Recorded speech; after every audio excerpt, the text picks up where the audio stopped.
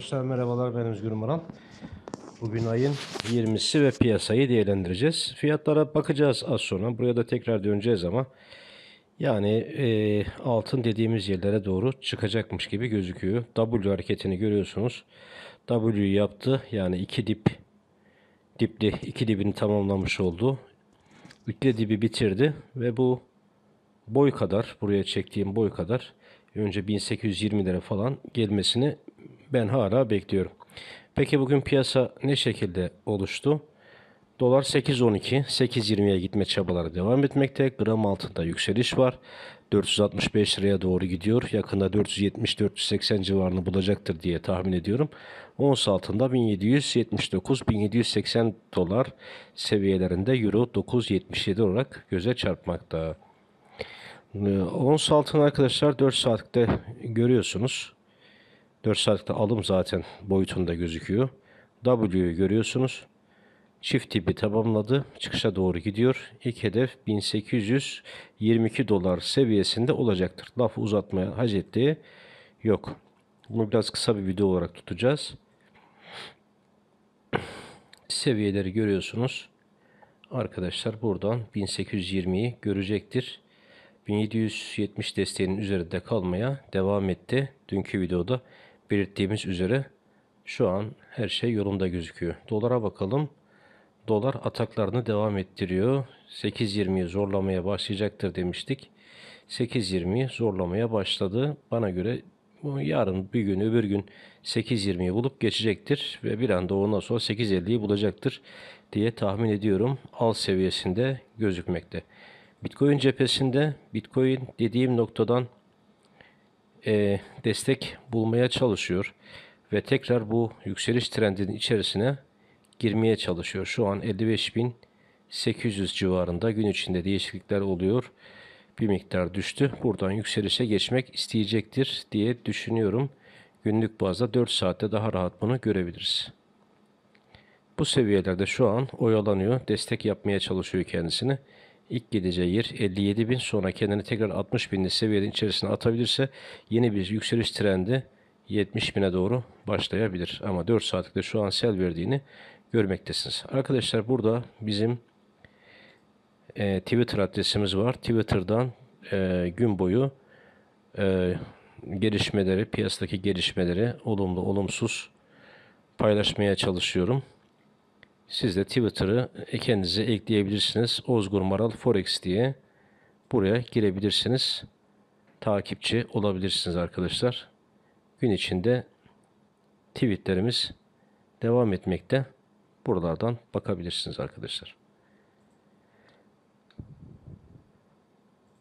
Altını bir de buradan inceleyelim. Altın arkadaşlar 1770'li seviyeleri tutmaya başladı. Oralarda barınıyor. Bu iyi bir haber. Göstergeler gayet olumlu. Gideceği seviye belli. 1820 seviyesi.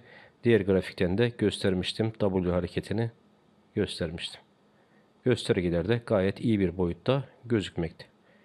Günlükte de bunu üst tarafta barınmaya çalıştığını görebilirsiniz. Şu 9 günlük ortalaması, 20 günlük ortalaması diğerlerini kesmeye başladığı zaman yandı gülüm keten elva olacaktır yükselişe devam etmesini bekliyorum kısacası.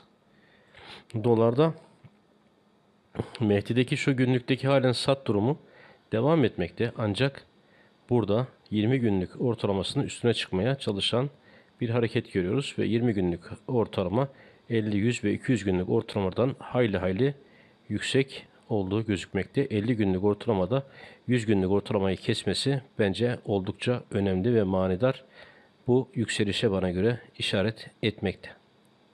4 saatlikte de baktığımız zaman bu şekilde bir görünüşle karşılaşıyoruz. 8.20 yakın bir zamanda görülecektir. RSI yukarı doğru olumlu bir şekilde devam etmekte.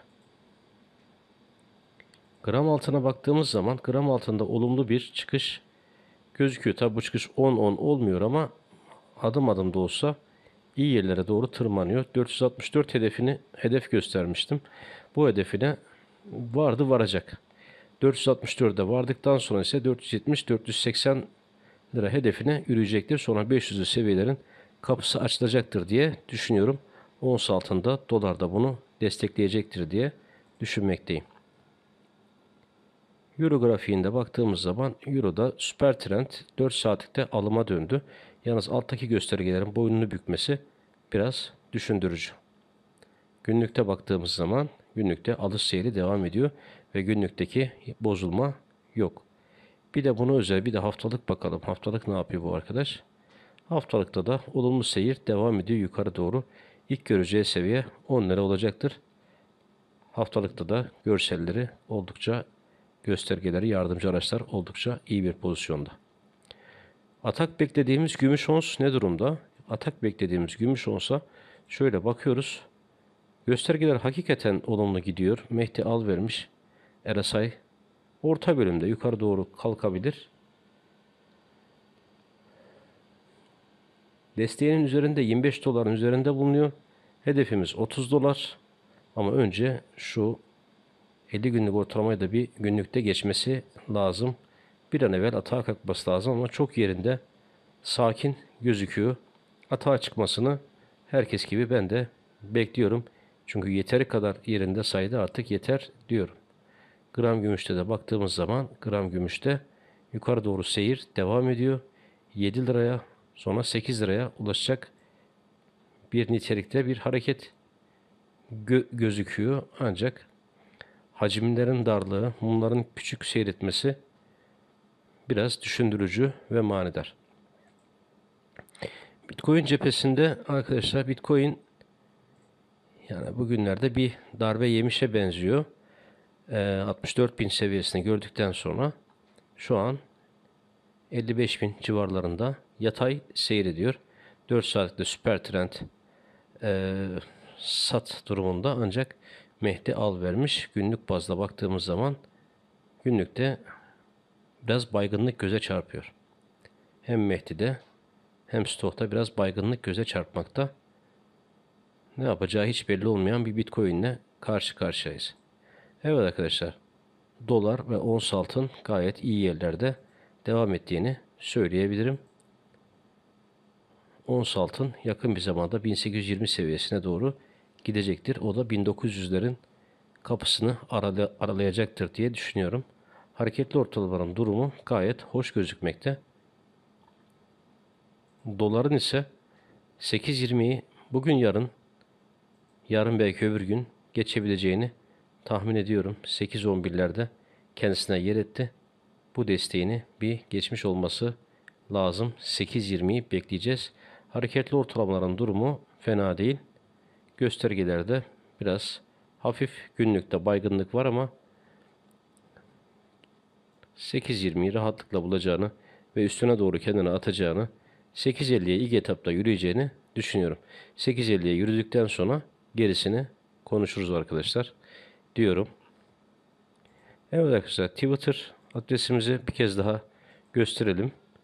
Burada güncel güncel konuları ve konumları paylaşıyoruz. Özgür Maral Kripto Yatırım diye kanalın ismi Twitter adresimiz.